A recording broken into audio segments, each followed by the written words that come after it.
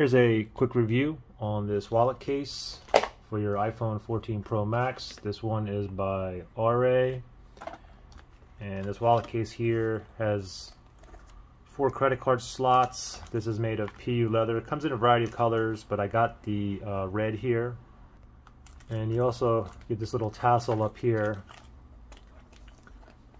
little holder, which I'm not going to need. So let me just go ahead and take that off. And really quickly, let me just go ahead and take the phone out of the case here. So you can see right here is like a rubbery TPU and it's connected right there. So you can basically make a stand. There's also a magnet back here. So when you're watching a video or whatnot or doing FaceTime, this isn't going to be like hanging up around here. Okay. Also, there's a magnetic closure on the front here as well and like I said you have four credit card slots.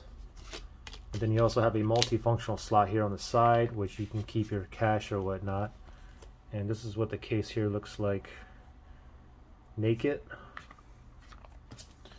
And let's go ahead and put the phone back in. Let's pop it in there. Just like that. And we'll put some credit cards in here.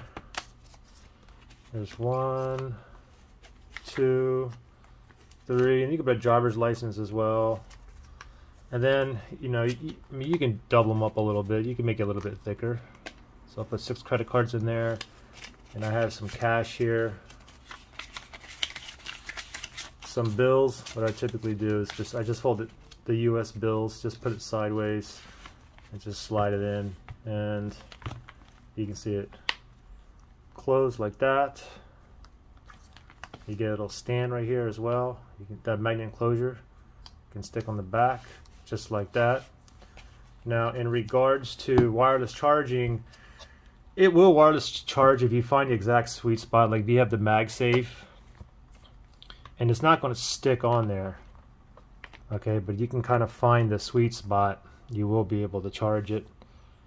So you can see it charging. And the same thing, I have a Samsung wireless Qi pad charger and this one will work as well if you find a sweet spot.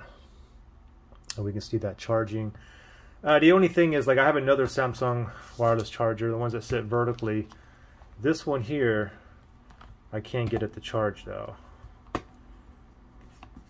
Maybe if I kept playing with it and I got the exact oh there it is. Got to get that exact sweet spot on there. Anyway there you guys go and it feels good in the hand too.